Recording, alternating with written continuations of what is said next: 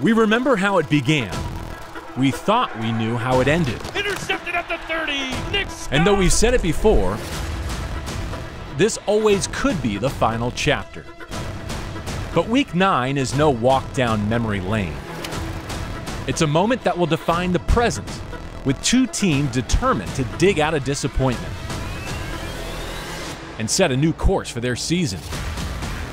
Just like Tom versus time, it's LA against yesterday, because how the Rams played in October doesn't dictate what they'll become in November or whether they're playing meaningful football in December. Stafford. Robinson. This is no time to reminisce. It's a trip to Tampa to beat Brady in the Bucs and tap back into the love of the game.